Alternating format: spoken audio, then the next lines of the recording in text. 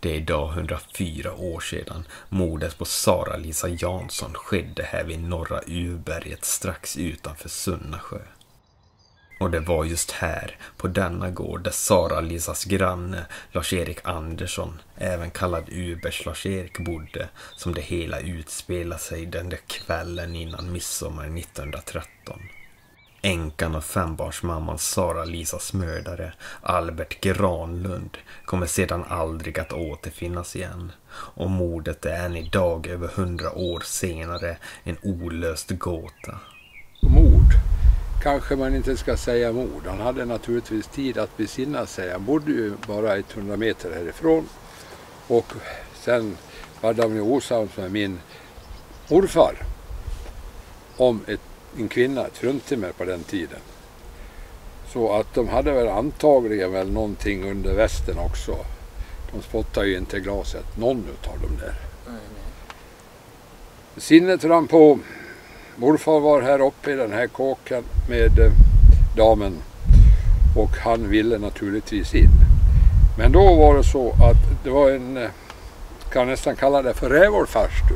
Ett klassiskt farstu från Rävåla. Som stod på den här sidan. Då var ju trappuppgången i själva fastut.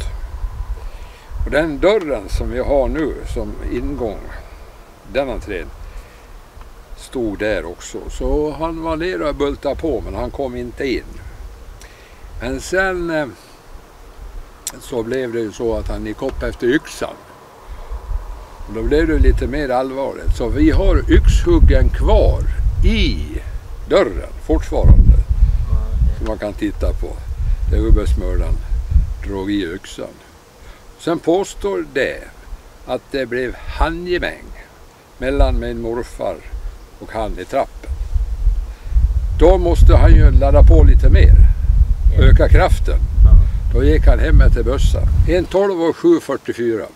Det är en bakladdare som fanns i svenska armén.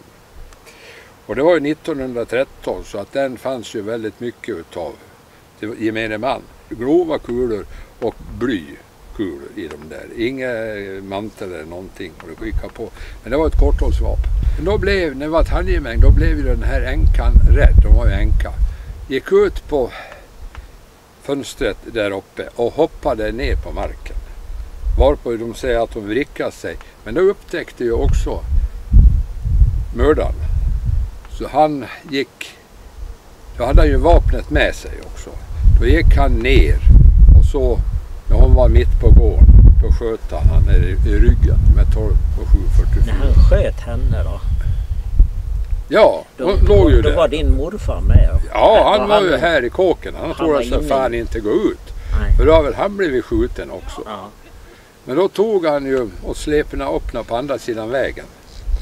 Och där vet jag inte om han risade över den eller inte. Men sen var det ju slut. Sen försvann ju. Han hittade ju väldigt bra den här mannen på skogen. För han hade ju en läromästare som hette Gardistkalle.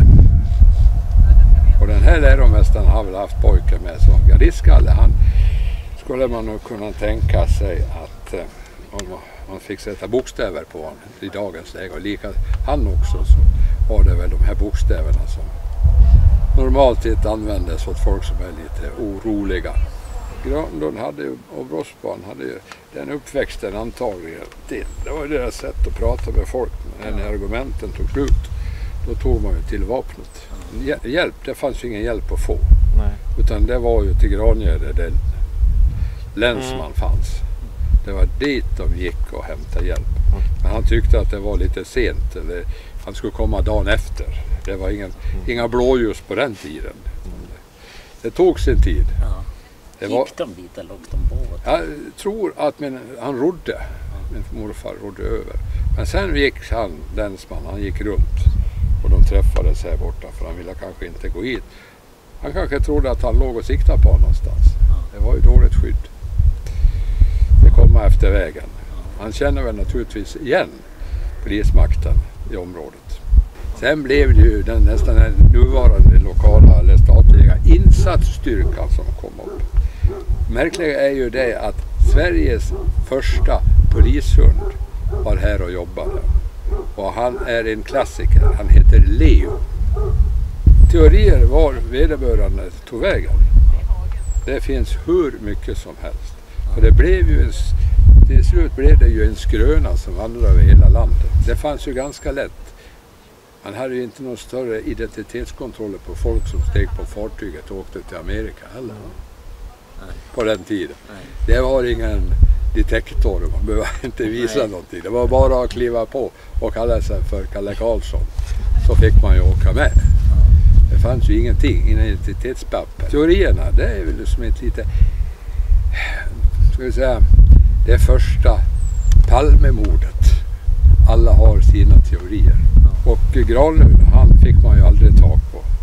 Och det enda som var vittne till det hela, det var ju min morfar.